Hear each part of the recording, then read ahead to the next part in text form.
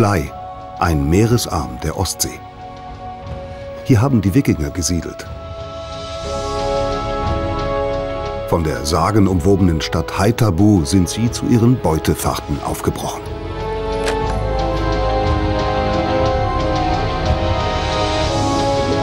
Furchteinflößend ist das Unterwasserreich der Quallen. Giftige Wesen und doch filigrane Schönheiten.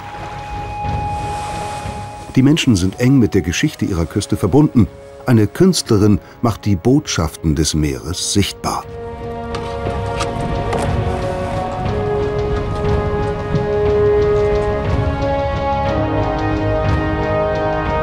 Die Route von die Küsten des Nordens führt heute von Flensburg über die Schlei nach Eckernförde bis nach Lübeck.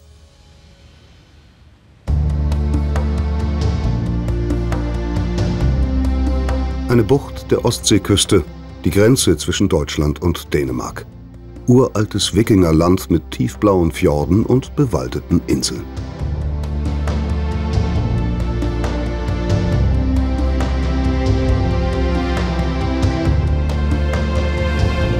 Deutschlands nördlichste Stadt. Sie liegt am Ende eines weit ins Land ragenden Meeresarms, der Flensburger Förde. Flensburg ist eine Hafenstadt mit bewegter Geschichte. Mal dänisch, mal deutsch. Und mit großer Schifffahrtstradition. Von hier brachen die Segler im 18. Jahrhundert in die Karibik auf, um das flüssige Gold Westindiens zu holen. Den Rum. Vor 200 Jahren war Flensburg die Rumstadt Europas. In den kleinen Gassen reihte sich Rumhaus an Rumhaus, wo der Zuckerrohrschnaps gelagert wurde.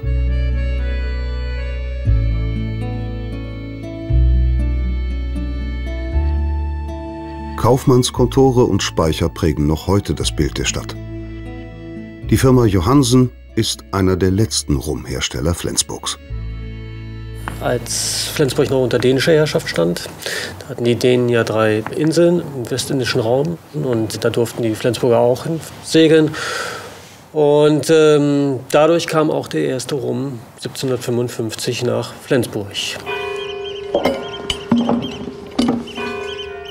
Vor 130 Jahren gründete Martin Johansens Urgroßvater das Rumhaus.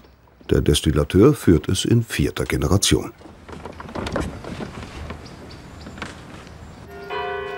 Wie früher kommt der rohe Rum auch heute noch aus der Karibik.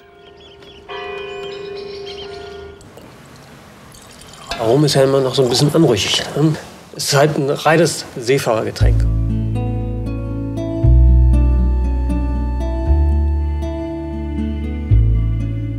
Die einzelnen Rumsorten können nach Kakao, Kaffee, auch schon mal nach Ananas schmecken und riechen. Also das muss aber dann jeder auch für sich selber herausfinden. Der Rum, wenn er aus Jamaika kommt, ähm, das sind verschiedene Rumtypen, unterschiedliche Geschmacksträger. Und äh, diese Rumsorten haben auch unterschiedliches Alter und werden dann zu einem neuen Rumtypen gemischt, ja, sodass ein komplett neuer Geschmack entsteht. Vom Gesöff der Matrosen zur begehrten Spirituose. Das hochprozentige Zuckerrohrdestillat ist in reiner Form ungenießbar. Der Rohrum wird erst mit klarem Alkohol und Wasser verschnitten und so auf Trinkstärke herabgesetzt. Im Prinzip ist das Mischen der Rumdestillate das Geheimrezept, wenn man so will. Und anschließend noch mal ein paar kleine Abrundungen, die dazu kommen. Das sind die Geheimrezepte. Rum nach Flensburger Art. Wie man ihn herstellt, ist in der Familie Johansen vom Urgroßvater bis an den Urenkel weitergegeben worden.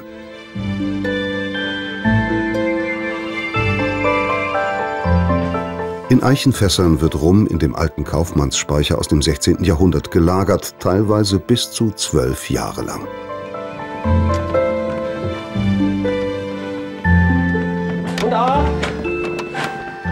Die Flensburger Rumhäuser verschwanden im letzten Jahrhundert eines nach dem anderen. Rum wurde durch Whisky und Cognac allmählich verdrängt. Martin Johansen will nicht aufgeben. Er ist überzeugt, dass die Nachfrage nach Rum wieder steigt. Seine Schätze lagert er besonders lange, um das Bouquet aus Kakao, Vanille und Frucht voll ausreifen zu lassen. Das rundet den ganzen Rum nochmal dann einmal ab, sodass er auch ähm, milder im Geschmack ist und trotzdem sein Aroma behält. Für den Spirituosenhändler gehört zum Meer und der Küste der Matrosentrank einfach dazu. Das Aroma der Karibik veredelt im hohen Norden an der Ostseeküste.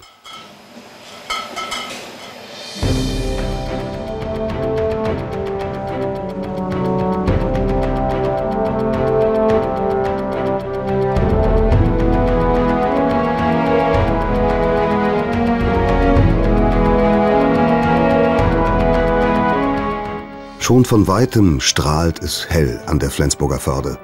Das Wasserschloss Glücksburg. Die hohen Mauern und wuchtigen Türme spiegeln die Machtentfaltung der dänischen Könige, die hier residierten.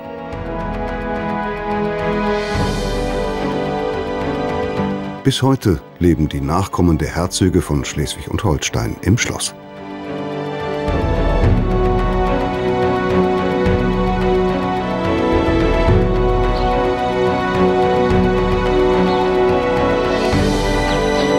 Gleich hinter Schloss Glücksburg die Halbinsel Holnis. Eine der markantesten Landschaftsformationen ist das Holnis Cliff.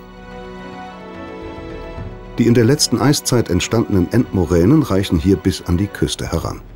Die Brandung der Jahrtausende hat sie zu einer Steilküste geformt. Heute nisten hier Küstenseeschwalben, Sie gelten als die Zugvögel mit der längsten Zugstrecke überhaupt.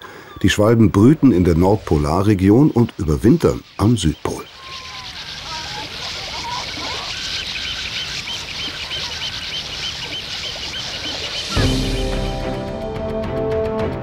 Es geht weiter nach Südosten, an der Küste Angelns entlang.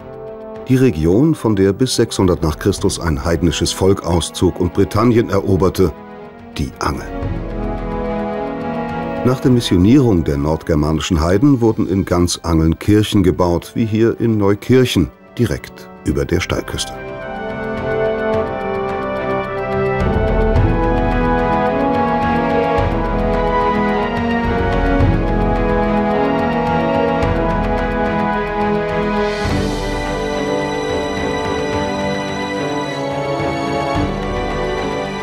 Von Schloss Gelting aus haben Generationen von Gutsherren die Landschaft Angels geprägt.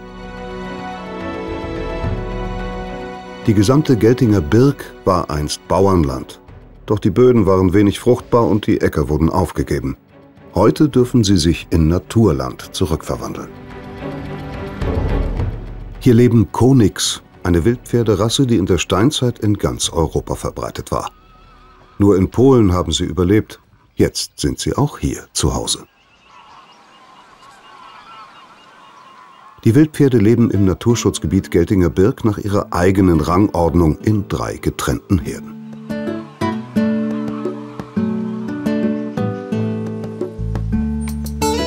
Nils Kobark hat das Naturschutzprojekt seit 1999 mit aufgebaut. Er ist heute der Hüter der Wildpferde.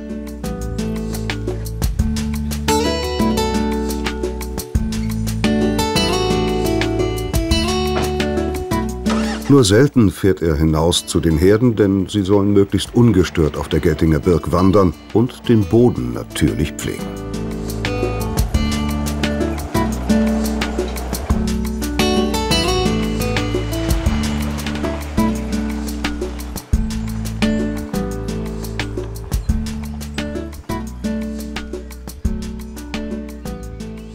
Die Birk hat auch an sich von der Landschaft schon eine Ausstrahlung, die, die beruhigt, die fasziniert. Diese Halbinsellage in der Ostsee, die unterschiedlichen Lichtsituationen, die vielen kleinen Lebensräume hier.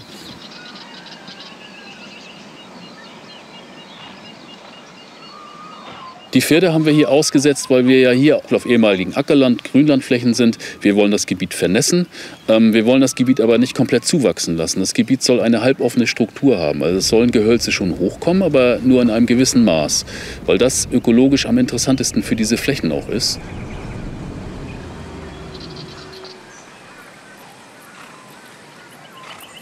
Unsere Pferde sind so wild, so frei wie irgend möglich. Deshalb sind sie also ganzjährig draußen. Sie haben auch keinen Stall hier, sondern die können bei uns in die Wälder gehen und sich bei Sturm und Regen dort Schutz suchen. Das machen die auch. Sie suchen sich ihre trockenen Flächen, wo sie liegen können.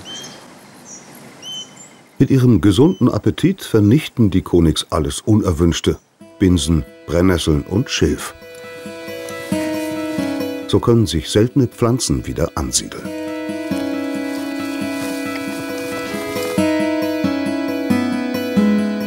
Seinen Hund hat Nils Kobak im Auto gelassen. Die Konix, die hier keine natürlichen Feinde wie Wölfe oder Bären haben, geraten leicht in Panik.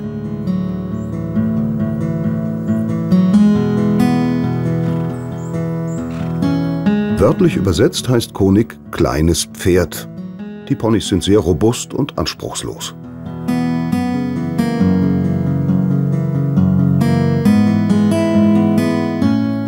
Nils Kobak schaut, wie es ihnen geht. Der gelernte Landwirt und Biologe weiß inzwischen, wo die Tiere am anfälligsten sind. Er sucht das Fell nach Parasiten ab und prüft, ob die Hufe Risse haben.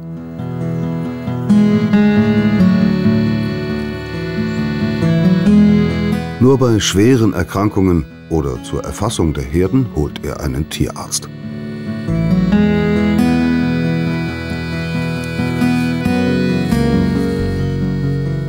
Die Tiere sind sehr menschenscheu, aber mittlerweile haben sie ihren stillen Freund akzeptiert. Ich habe eigentlich unglaubliche Angst vor Pferden. Und ähm, dann ist das natürlich schon faszinierend, wenn man dann so dicht mit den Tieren zusammensitzt und, und äh, nach wie vor habe ich Angst. Also ich reite ja auch nicht, aber ähm, ich, das ist einfach die, ich bin es nicht gewöhnt. Ich habe mit, mit Milchvieh gearbeitet und bin das Verhalten der Pferde nicht gewöhnt. Und die Reitpferde sind manchmal sehr hektisch, aber die Konigs sind irgendwie ganz anders. Die sind viel ruhiger, gelassener. Das fasziniert mich einfach an den Tieren. Abenteuer Geltiger Birk. Nils Kobak wollte eigentlich als Meeresbiologe die Südsee erforschen. Das Wildpferdeprojekt an der Ostsee hielt ihn zurück. Immer mehr Naturschutzorganisationen sind daran interessiert, von Nils Kobaks Konzept zu lernen. Und so sind die Herden heute früh am Morgen in Aufruhr. Freiwillige Helfer treiben sie in ein Gatter, wo sie erfasst und ihnen Blutproben entnommen werden. Einige der Tiere gehen als neue Herde in einen anderen Naturschutzpark. Wir haben ja eine große Farbenvielfalt bei uns. Wir haben fast weiße Tiere, wir haben schwarze Tiere, wir haben auch ein rötliches Tier. Ähm, in der Regel sind sie eigentlich eher so grau. Aber die Pferde sind sehr schwer zu unterscheiden. Selbst wir, die also versuchen, möglichst einmal am Tag oder alle zwei Tage draußen zu sein, wir kennen nur bestimmte Tiere. In der eigens gebauten Anlage werden die Tiere von ihren Herden getrennt und einzeln durch einen Tunnel geleitet. Nicht allen Pferden gefällt das.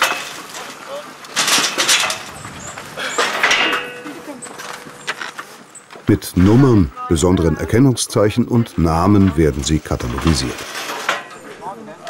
Hinterher wird ihnen ein Chip eingesetzt, an dem sie wiedererkannt werden können.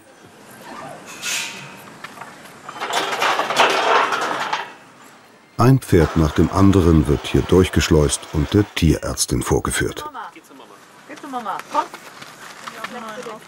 In so einer Situation sind die Wildtiere unberechenbar.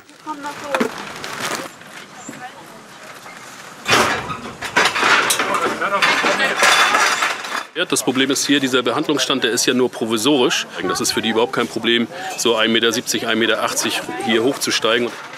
Ja, muss man hoffen, dass es 40 nichts bricht und vor allen Dingen, dass es nicht auf irgendjemand rauffällt. Die ausgesuchten Tiere werden morgen umziehen. So lange bleiben sie im Gatter. Langsam kehrt wieder Ruhe ein auf der Birk. Wir verändern im Moment viel, wir machen viel. Hier wird, wird viel noch versucht zu optimieren für die Natur, dass man möglichst natürliche Verhältnisse hat. Und da sind auch viele Erfolge, gerade was auch Arten betrifft. Immer wieder neue Arten, die wieder da sind oder auch Arten, die wir angesiedelt haben, die erfolgreich sich hier etabliert haben. Das begeistert und das ist schon toll. Viele waren anfangs skeptisch, als aus Ackerland ein Reservat für bedrohte Tiere und Pflanzen entstehen sollte.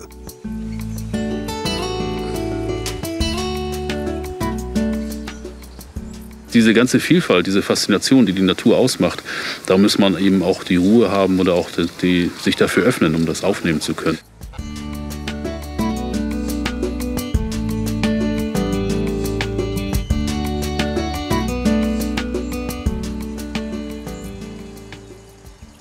Ich finde es einfach ein ganz tolles Gefühl, wenn man jetzt so, ich mache es jetzt zehn Jahre hier auf der Birk, wir haben schon sehr viel bewegen können. Und bei vielen Teichen, bei vielen Gewässern, wenn ich jetzt hier stehe, weiß ich rundherum, wenn ich gucke, die habe alle ich angelegt und das waren alles meine Idee, die da hinzumachen und so. Und es funktioniert, die Arten sind da. Und ähm, das ist schon schön, das ist ein, ist ein tolles Gefühl.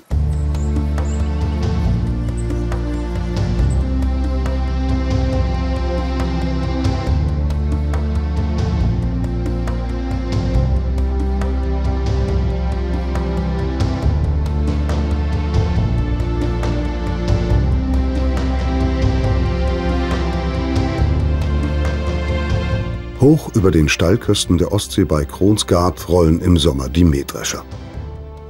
Die Region ist bis heute stark von der Landwirtschaft geprägt. Die Getreideernte auf den Cliffs ein gefährliches Manövrieren.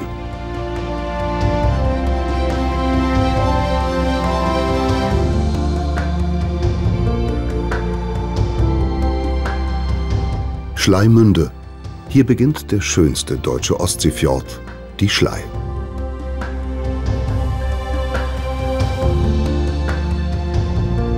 Schon die Wikinger hatten die geschützte Einfahrt in den Meeresarm entdeckt. Gleich hinter dem Leuchtturm taucht die alte Fischersiedlung Maasholm auf. Da Maasholm ursprünglich eine Insel war, ist das Dorf auch heute nur über einen Damm zu erreichen.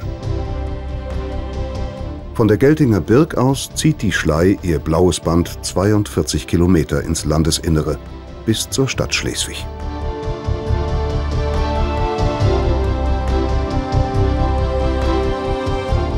Vor der ersten Schleibrücke in Kappeln stehen Pfähle in seltsamer Anordnung im Wasser, der sogenannte Heringszaun, mit dem wie im Mittelalter Fische gefangen werden.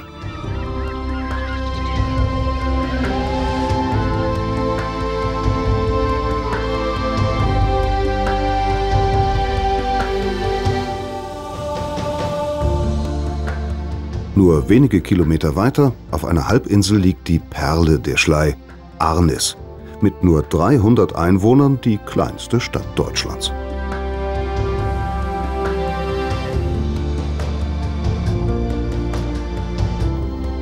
Knapp 10 Kilometer fjordaufwärts taucht ein technisches Kuriosum auf, die Klappbrücke von Lindau-Niss, erbaut 1926.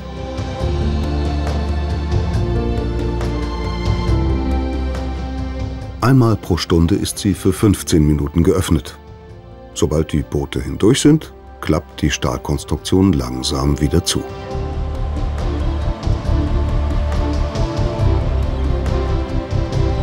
Über die Brücke fahren Autos und Eisenbahnzüge abwechselnd in einer Spur. Zwischen Kappeln und Schleswig ist dies die einzige feste Verbindung über die Schlei.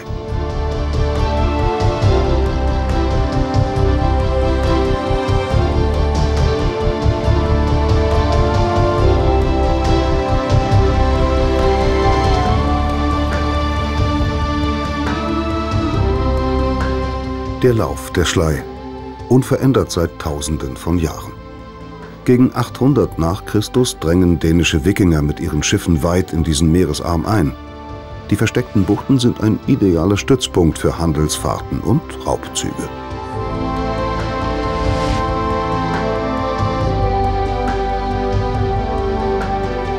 Am Ende der Schlei gründen die Wikinger die Stadt Haithabu, noch heute sieht man den Ringwall, der sich im Halbkreis zur Schlei hin öffnet. 1000 nach Christus war dies die größte Stadt Skandinaviens. Innerhalb eines archäologischen Denkmals wurden mehrere Wikingerhäuser nachgebaut. Einige Menschen fasziniert die Geschichte so sehr, dass sie wie die alten Nordmänner leben wollen.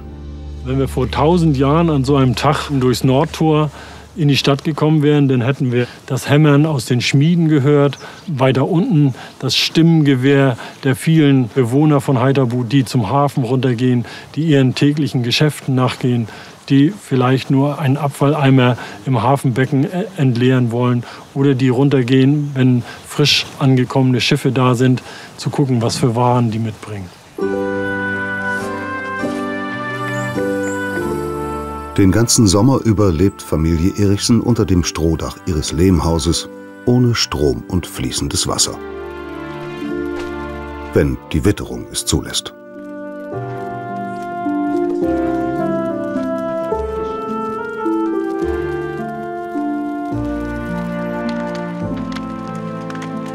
Reinhard Erichsen ist fest angestellter Wikinger im Museumsdorf. Einmal fasziniert mich äh, diese Einfachheit, dass ich, wenn ich mir ein Frühstück bereiten muss, selbstverständlich erstmal genügend Brennholz zur Verfügung haben muss. Diese ganz einfachen täglichen Handgriffe, die erforderlich sind, um ja, so einen Tag zu überstehen, satt zu werden und irgendwelche Arbeiten zu verrichten. Die Einwohner von Heiterbu lebten vom Handwerk. Reich wurden nur die, die Handel trieben, Waffen und edle Stoffe, Bernstein, seltene Pelze und Menschen. Heiterbu war der größte Sklavenmarkt Nordeuropas. Mich fasziniert an der Welt der Wikinger, dass sie eigentlich Menschen waren wie du und ich. Da gab es klar die Raufbolde, die losgefahren sind auf Wigfahrt, um sich äh, zu bereichern und wohlhabend zurückzukehren. Aber es gab genauso den vorsichtigen, etwas ängstlichen Handwerker, der lieber hier in Heiterbu seine Kämme hergestellt hat, als dass er da das äh, große Abenteuer auf See gesucht hat. Reinhard Erichsen, der Wikinger von Heiterbu, bringt seinem Enkel die Kunst des Bogenschießens bei. Nach Wikingerart versteht sich an einem Wildschwein.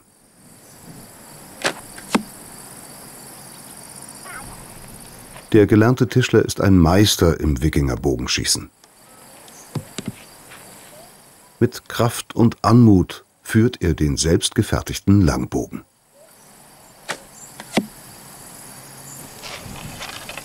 Dieses ist jetzt eine handgeschmiedete Kriegsspitze aus der Wikingerzeit, nadelförmig, um Kettenhemden oder Rüstungen zu durchschlagen. Und los geht's. Enkelsohn Tore und Tochter Anne mit der kleinen Ronja lernen auf ihrer Zeitreise, wie die Wikinger vor tausend Jahren gelebt haben. Dazu gehörten Götter wie Odin und Thor, aber auch Dämonen und Zauberer. Nahe Haithabu lag einst ein magischer Ort. Dort fanden Bauern aus der Gegend vor mehr als 200 Jahren einen Runenstein. Aufgestellt wurde er von Königin Asfried für ihren gefallenen Sohn Sigtryg. Königin Asfried und ihr Mann, König Knuba, waren schwedische Wikinger, die um 930 nach Christus hier herrschten.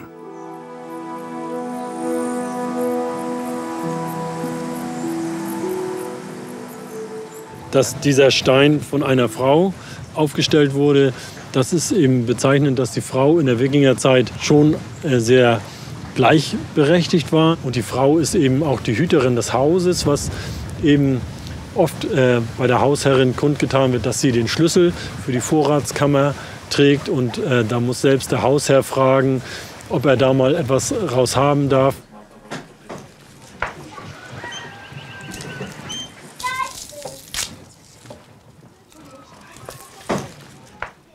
Kleines Stück, das kannst du in die Butter tun. Das Glück von Heiterbo währte nur kurz. Von Slawen geplündert, wurde die Stadt im Jahr 1066 von ihren Bewohnern verlassen und geriet in Vergessenheit.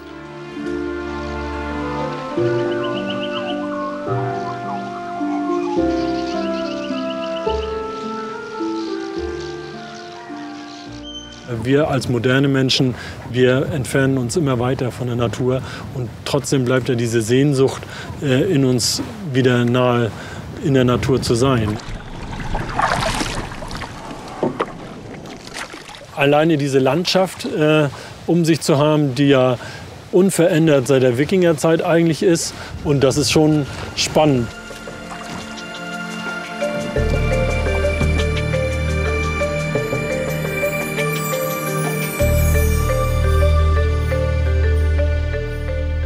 Auf der anderen Seite der Schlei entsteht nach dem Untergang Heiterbos ein neues Machtzentrum, Schleswig.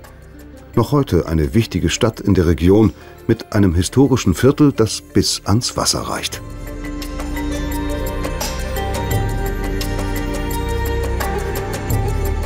Schloss Gottorf. Hier herrschten über Jahrhunderte die Herzöge von Schleswig und Holstein. Einige von ihnen waren zugleich dänische Könige.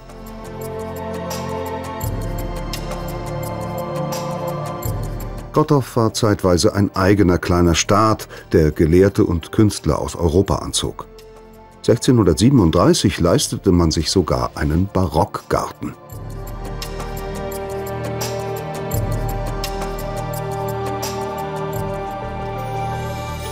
Quer durchs Land geht es von der Schlei wieder zur Ostsee, nach Eckernförde.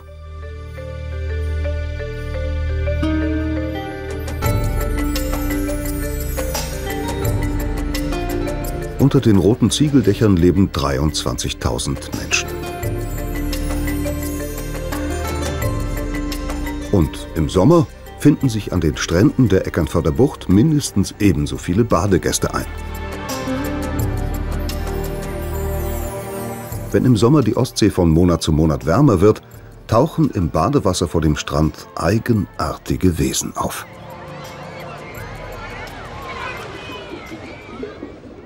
Quallen. Seit mehr als 500 Millionen Jahren leben sie in den Gewässern der Erde. 200 Arten gibt es auf der Welt.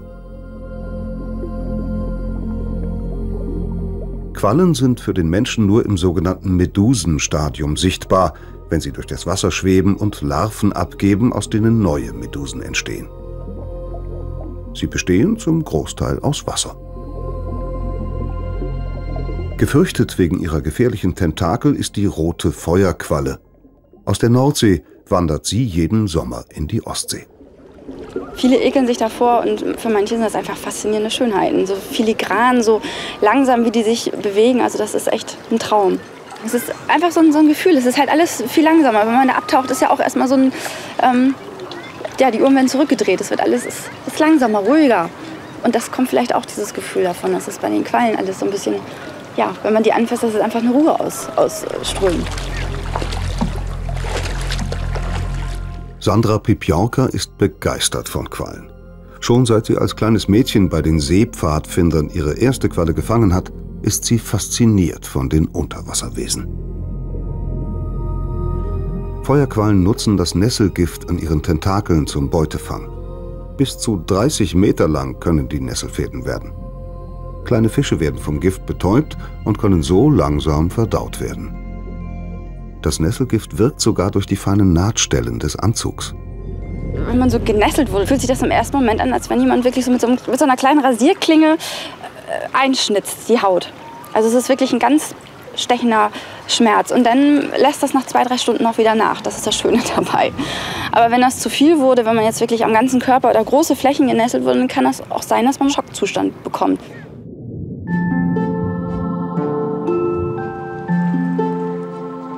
Im Eckernförder Hafen geht Sandra Pipjorka am liebsten auf Jagd nach ihren Medusen. Im Sommer treiben die Quallen zu Abertausenden mit Wind und Wellen in die Buchten der Ostsee. Sie sammeln sich vor allem an den Stränden und in den Hafenbecken. Die größten Schwärme bildet die ungefährliche Ohrenqualle.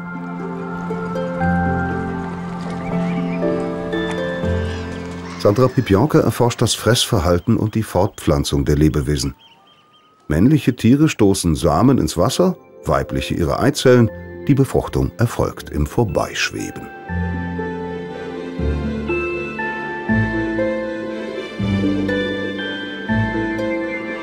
Quallen könnten die Gewinner des Klimawandels sein.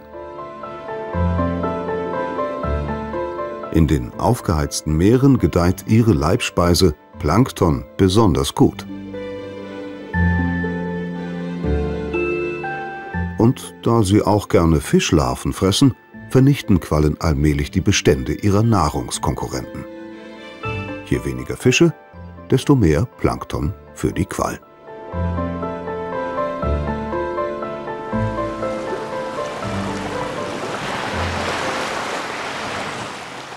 Quallen sind mehr als nur lästige Wesen im Wasser.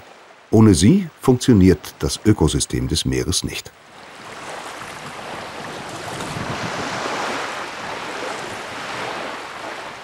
Sie sind so ein bisschen die Umweltpolizei, die Müllschlucker. Weil alles, was krank ist, was zu viel ist, das nehmen sie uns ab. Wenn wir jetzt Gebiete haben, wo, wo wir viel Nährstoffe ins Wasser bringen, dann haben wir viel Plankton, zu viel Plankton teilweise. Und das nehmen sie uns ab, sodass viele Gewässer halt eben nicht umkippen. Die Quallen könnten ein neues Kapitel der Evolution schreiben und die Herrschaft über das Ökosystem Meer antreten. Erst vor wenigen Jahren in der Ostsee aufgetaucht ist eine Rippenquallenart, fast durchsichtig. Die kleinen Tentakel glitzern bei Berührung selbst im Dunkeln. Die Rippenqualle ist wegen ihrer Schönheit Sandra Pipjaukas Lieblingsqualle. Aber sie ist ein Einwanderer – Sie kam wahrscheinlich im Ballastwasser von Tankern aus dem Kaspischen Meer in die Ostsee. Ein gieriger Fischlarvenfresser. Gemeinsam mit den heimischen Ohrenquallen ist das zu viel für die Ostsee. Sie friert im Winter nicht weg. Die Winter sind zu mild und dadurch ist sie jedes Jahr immer wieder da und kann sich innerhalb von zwei Wochen reproduzieren. Und das heißt, wir haben ganz, ganz schnell wieder ganz viele von diesen wunderhübschen, bösen Rippenquallen, auch kaspisches Monster genannt.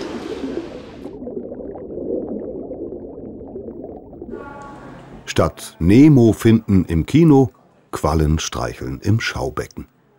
Wenn Sandra Pibjorka mal keine Quallen für ihre Studien fischt, gibt sie ihr Wissen im Ostsee Info Center an Besucher weiter. Deswegen ist das nämlich die Mama, weil sie die roten Eier da dran hat. Und viele Leute denken ja wirklich, das ist schon eine Feuerqualle, ne? Und das hier, das ist der Papa, der hat keine Eier. Der ist nur ganz schlicht lila. Lustig, was meinst du, wie fühlt sich das an? Einmal abtauchen in die Ostsee. Dieses Filigrane, dieses Schöne, dieses Intensive einfach das äh, kann man auch nicht ins Aquarium holen.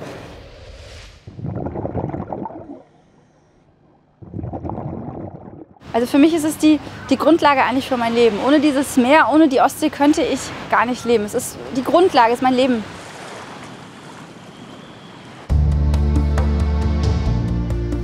Gleich neben dem Badestrand der Marinehafen Eckernförde.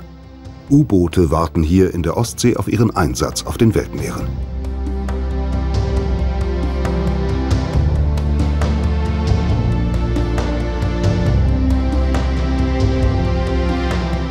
Seit der Völkerwanderung sind die Menschen hier auf Booten und Schiffen unterwegs, von Horizont zu Horizont. Die Steilküsten an der Kieler Bucht sind noch immer geschätzte Landmarken für die Schifffahrer. Von Schweden und Norwegen pendeln täglich die großen Fähren nach Kiel. Mitten in der Kieler Förde der kleine Leuchtturm Friedrichsort.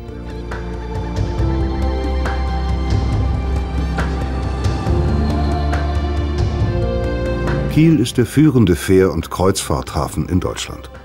Im Sommer liegen mitten in der Stadt bis zu sechs Schiffe gleichzeitig an den Terminals.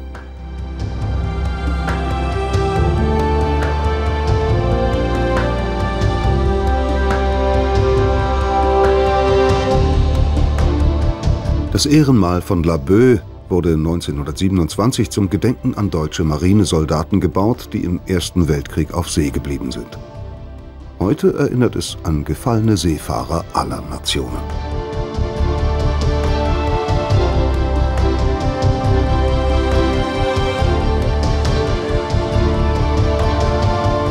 Südlich der Kieler Bucht beginnt die Halbinsel Vagrien. Die Steilküste ist hier noch so ursprünglich wie zur Zeit der ersten Besiedlung durch die Slawen um 700 nach Christus.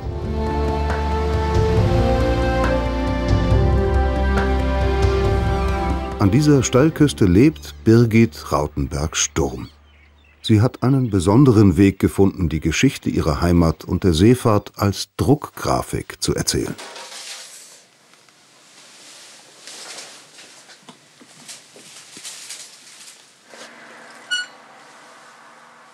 Jeder Künstler sucht sich das, wo er sich am wohlsten fühlt und was für ihn einfach eine Wichtigkeit hat. Ich kann mich nun nicht mit einem Aquarellpinsel an die Küste setzen. Das ist schön, aber das, das bin ich eben nicht. Ich brauche das handfester, damit ich rundlaufe. Das mir arbeitet vor und ich gucke, was ich da raufsetzen kann und um die Sache dann rund zu kriegen. Die Künstlerin versenkt in Leinwand eingenähte Metallplatten im Meerwasser lässt sie dort viele Monate ruhen und vom Salz der Ostsee anfressen. Das sind die Radierplatten, die sie später im Atelier für den Druck verwendet.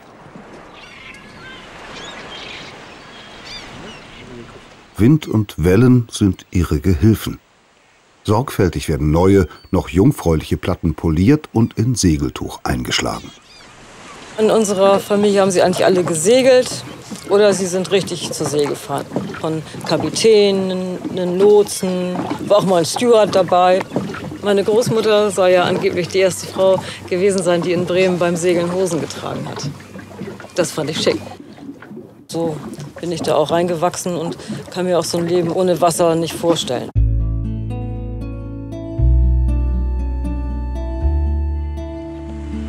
Mit ihrem Mann Uwe restauriert die Grafikerin historische Segler.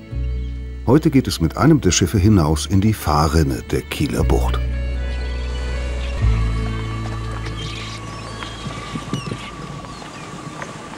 Birgit Rautenberg-Sturm will das Unsichtbare zeigen.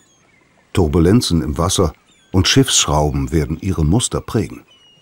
So will sie den Schiffsverkehr als Oxidationsspur auf ihren eingenähten Platten festhalten.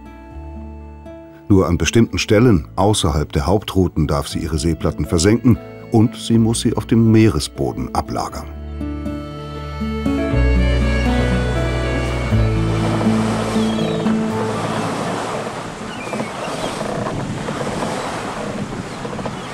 Für jede Platte wird eine Boje gesetzt, aus Sicherheit für die Schifffahrt und zum Wiederauffinden der Kunstwerke.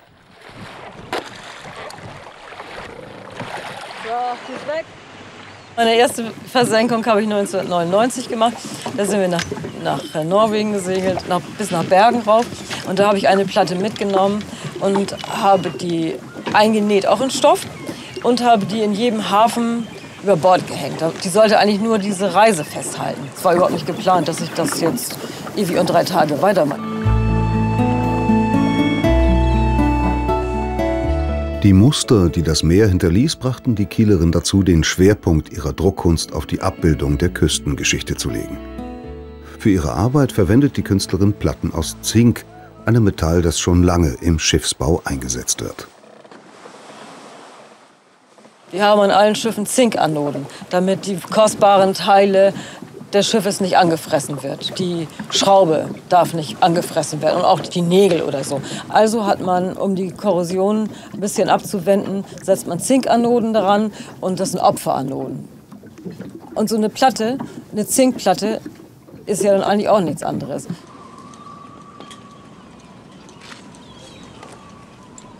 Wie wird die Platte aussehen?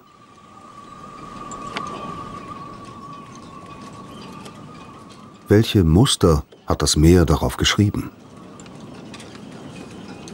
Und welche Botschaften erkennt die Künstlerin darin?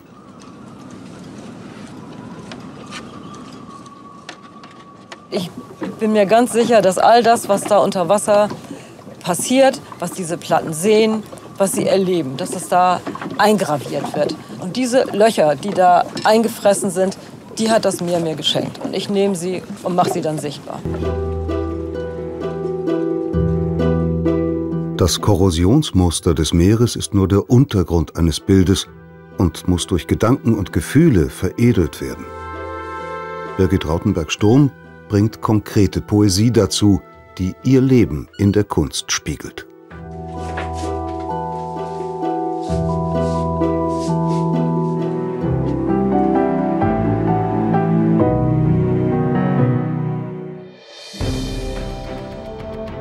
Von der Kieler Außenförde geht es weiter zu einer der schönsten Landschaften an der Ostseeküste, der holsteinischen Schweiz.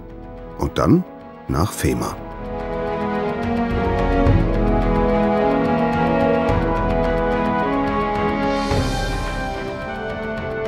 In der holsteinischen Schweiz steht auf einem der vielen bewaldeten Hügel 130 Meter über dem Meer der Hessenstein, ein Aussichtsturm aus dem 19. Jahrhundert, errichtet durch die Landgrafen von Hessen.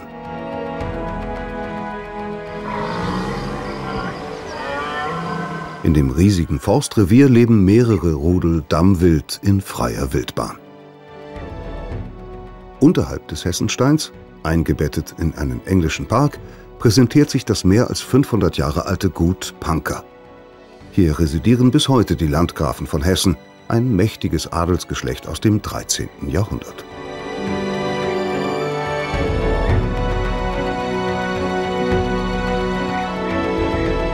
Seit Ende des Zweiten Weltkrieges ist Gut Panker auch die Heimat der Trakener, eine Pferderasse, die früher vor allem in Ostpreußen gezüchtet wurde.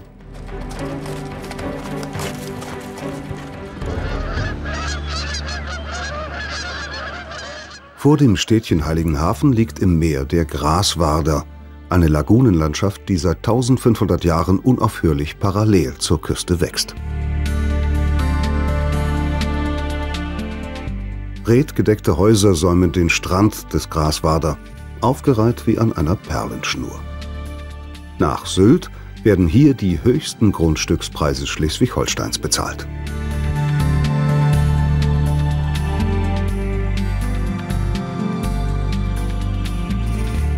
Die Nährung des Graswader ist für Brut- und Rastvögel wie die Brandseeschwalben ein wichtiger Rastplatz auf ihrer jährlichen Zugstrecke.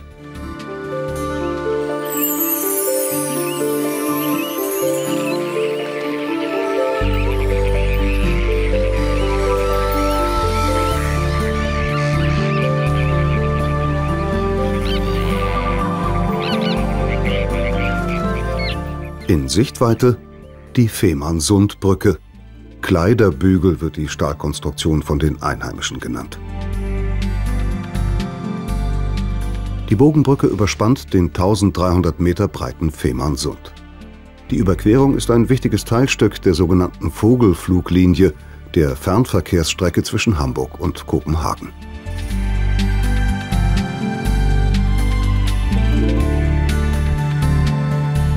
Fehmarn nach Rügen und Usedom die drittgrößte deutsche Ostseeinsel. Die ersten Menschen, die hier siedelten, waren Rentierjäger und Fischer. Hier liegt weithin sichtbar der Leuchtturm von Staberhug, der jüngste Leuchtturm der Insel. Er wurde besonders massiv gebaut aus Backstein, denn er bekam 1903 kein gewöhnliches Leuchtfeuer, sondern das Gusseiserne des Helgoländer Leuchtturms.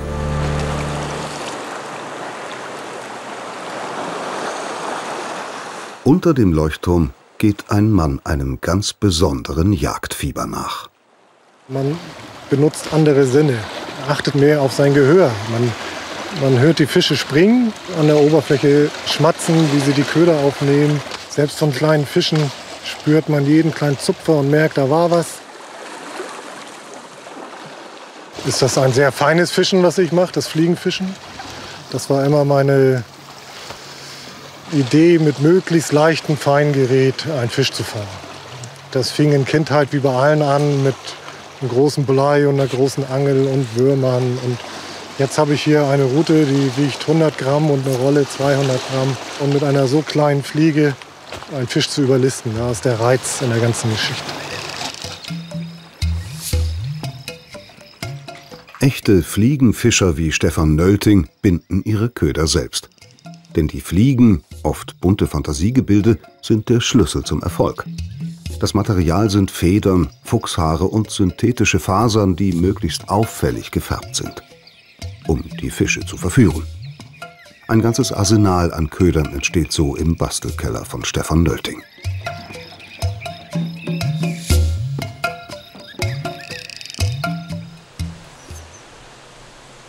Bei gutem Wetter verbringt er jede freie Minute am Meer, ausgerüstet wie ein Krieger von einem fernen Stern. Stefan Nölting ist auf Fehmarn geboren. Er weiß, dass die ersten Menschen auf der Insel nur vom Fischfang lebten. An der steinigen Küste von Staberhug hätten sie mit ihren Netzen wenig Chancen gehabt. Seit 30 Jahren fische ich hier. Ich kenne hier jeden Stein im Wasser und vorm Wasser. Die ganze Fischerei ist Erholung pur. Es ist der Gegensatz zu Computer, Fernsehen, Playstation, alles was es gibt. Back to the roots. Eleganz und Können. Jahrelanges Training mit der Fliegenroute ist nötig, um den leichten Köder punktgenau gegen den Wind zu werfen. Fliegenfischer benutzen kein Blei, die Schnur selbst ist das Gewicht, um den Köder auf Entfernung zu bringen. 20 bis 25 Meter weit gleitet sie ins Wasser. Denn erst hier beginnen die Seegraswiesen, die den Meerestieren perfekte Tarnung bieten. Viele Fische, die vom Atlantik in die Ostsee schwimmen, kommen so dicht an Fehmarns Küste an Staberhug vorbei.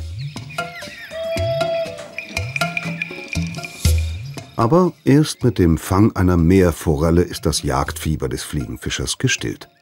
Auf sie hat es Stefan Nölting vor allem abgesehen. Die Fliegen für diesen Fisch müssen daher besonders gut sein. Ich bin der Meinung, die Augen spielen eine wichtige Rolle, weil die, gerade die Meerforelle auf Sicht jagt. Und deswegen sind große Augen immer schön. Das sehen die Fische, meine ich.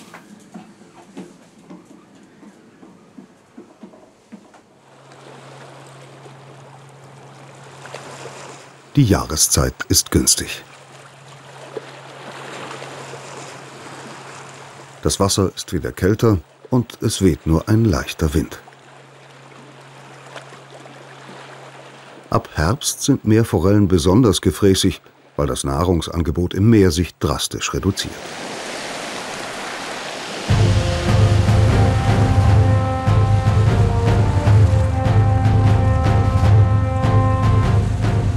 Und da ist er, der Biss der Meerforelle. Der Kampf beginnt. Es ist nur ein kurzes Aufbäumen. Sitzt der Haken richtig, hat der Fisch keine Chance mehr. Ganz langsam holt Stefan Nölting die Schnur ein, damit sie nicht reißt oder sich an einem Stein verhakt. Die Meerforelle ist der Fisch, der tausend wirft. Anfänger fangen meistens nach drei Würfen schon ein und sind dann infiziert. Und dann warten sie ein Jahr, bis sie den nächsten Fisch fangen. Also ich bin da nicht so fischfixiert und muss für meine aufgebrachte Zeit nun auch unbedingt Fisch nach Hause bringen. Meine Familie freut sich über jeden Fisch, den ich fange und der wird auch gerne gegessen, in verschiedenen Variationen. Aber es steht nicht an erster Stelle.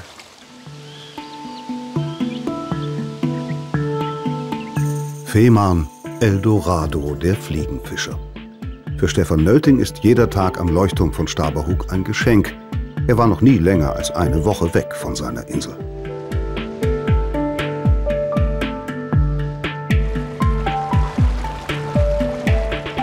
Auch wer den Kick in der Geschwindigkeit sucht, findet an der Ostsee sein Abenteuer.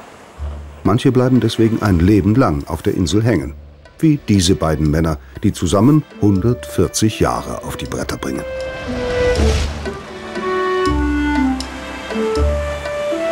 Die Zwillingsbrüder Manfred und Jürgen Tschatschula. Schon vor 40 Jahren sind sie hier auf den Wellen geritten. Eine Stunde Windsurfen, das ist ein Feeling, als wenn du mindestens äh, drei Joints am Tag rauchst. Mehr brauchst du nicht. Das, dann bist du auch mit, mit der ganzen Welt wieder zufrieden. Alle deine ganzen Ängste und ja. äh, die, die Rentenzahlung und Versicherungszahlung gerät alles ins Stocken. Ja. Weil du nicht mehr dran denkst. Du fährst und fährst und wenn dich nicht einer aufhalten würde, dann würdest du weiterfahren. Sie sind Deutschlands Windsurf-Pioniere. Mit ihrem Tandem-Surfbrett haben sie nahezu alle Gewässer der Welt befahren und können bis heute nicht vom Wasser lassen. 1975 überquerten die Zwillinge als erste gemeinsam auf dem Brett den Ärmelkanal. Sie zählen zu Norddeutschlands Legenden. Während andere mit 70 ans Altersheim denken, haben die Chachulas bei jeder Windstärke das Segel fest in der Hand.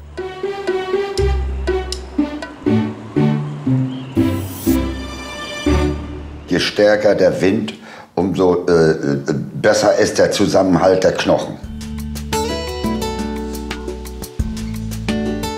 Manfred und Jürgen Czaczulla wurden mit Elbwasser getauft. Sie sind gemeinsam zur See gefahren, haben zur gleichen Zeit Familien gegründet und haben sich zur selben Zeit scheiden lassen. Jetzt leben sie zusammen auf Fehmarn. Die Insel gibt uns äh, etwas Abgeschiedenheit von ja. der übrigen Welt. Deshalb ist es auch immer schön, ich finde den Ausdruck wunderbar, wenn wir sagen können, ich fahre mal eben nach Europa. Und ja. über die Brücke dann. Ne? Ja, ja. Die Chacholas haben jahrelang in der Karibik gelebt und von dort den Calypso, den afrokaribischen Tanzrhythmus, mitgebracht.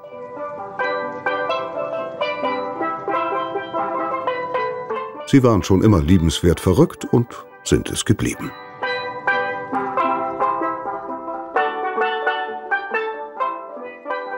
In einem Altersheim würden die sagen, die haben eh ne, einen Klaps. Ja. Das machen wir nicht mit. Die sind ja bescheuert. Ja. Also stelle ich mir das vor. Ja. Na, oder wiederum auch äh, äh, einige von den Insassen würden sogar erfreut sein, wenn die auf dem Tandem mitfahren dürften. Ach so. Ja, ja, klar. Noch ein das heißt, wir, dann müssen wir überlegen, ob die mit Rollstuhl raufpassen.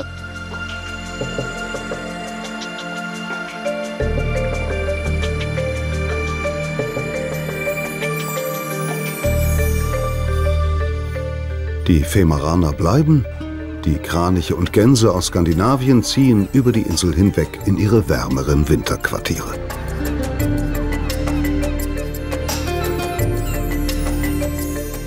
Auf dem Weg nach Süden taucht wieder die Küste des Festlands auf.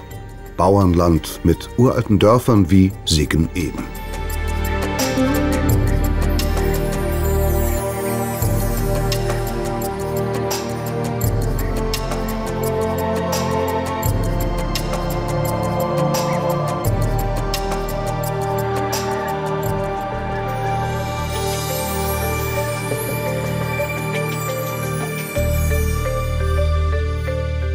Der Timmendorfer Strand ist im Sommer bis auf den letzten Quadratzentimeter belegt. Er ist der längste Strand an der schleswig-holsteinischen Küste.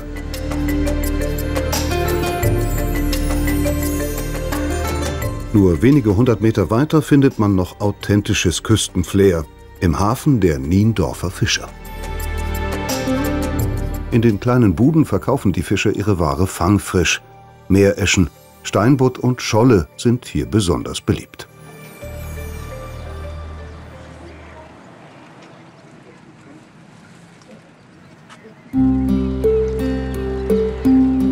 Mitten im Fischermilieu am Hafen arbeitet Johanna Ortmann, eine Töpferin.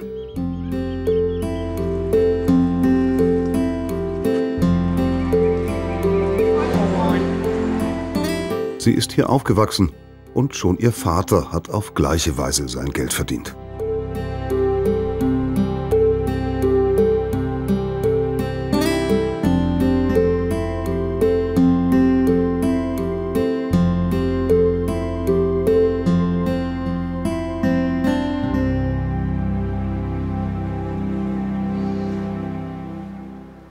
Mein Vater wollte eine neue Töpferei aufmachen. Und das war so eine halb verfallene kleine Hütte. ein halbes Dach, halber Boden drin, also was ganz Uriges. Ähm, dann hat er sich überlegt, Fischereihafen. Hier ist auch im Sommer, ist ja nicht ganz abgelegen. Und die hat er bekommen und dann hat er sich die aufgebaut als Werkstatt.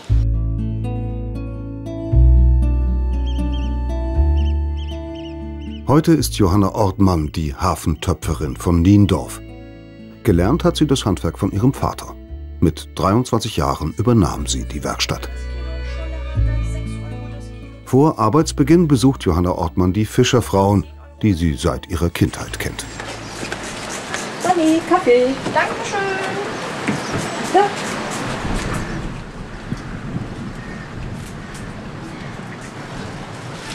Es ist uriges Handwerk und uriges Handwerk. Gefischt haben die Leute auch schon vor Urzeiten und getöpfert haben sie auch schon vor Urzeiten. Mehr oder weniger gut, aber sie haben es auf jeden Fall schon getan. Johanna Ortmann ist neben der Drehscheibe groß geworden, in vierter Generation. Schon ihr Urgroßvater hat von der Tonverarbeitung gelebt.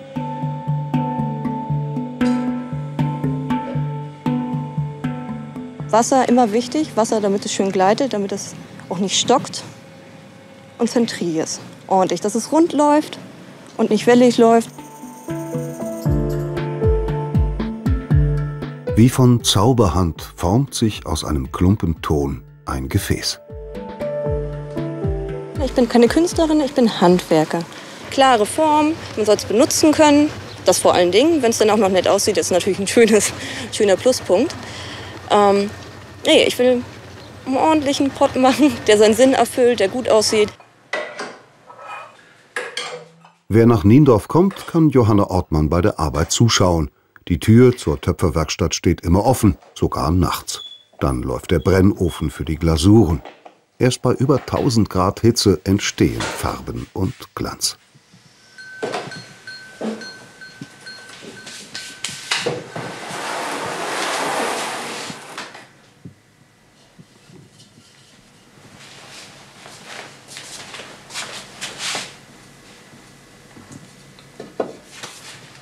Braun ist ja eigentlich das, was man häufig sagt, Keramik.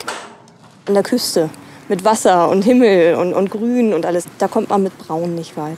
Das muss nicht sein, das ist so erdig, das, das passt nicht ganz zum Meer. Und dann wird man halt farbiger.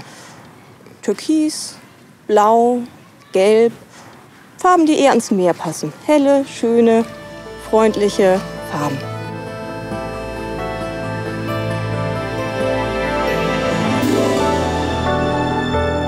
Von der Niendorfer Bucht geht es entlang des Brotener Ufers und das letzte Stück auf dem Weg landeinwärts.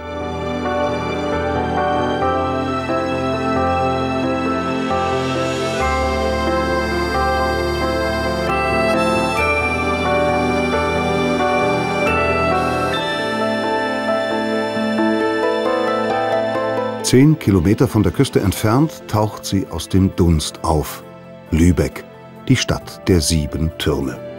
Zu Hansezeiten eine der bedeutendsten Handelsstädte Nordeuropas.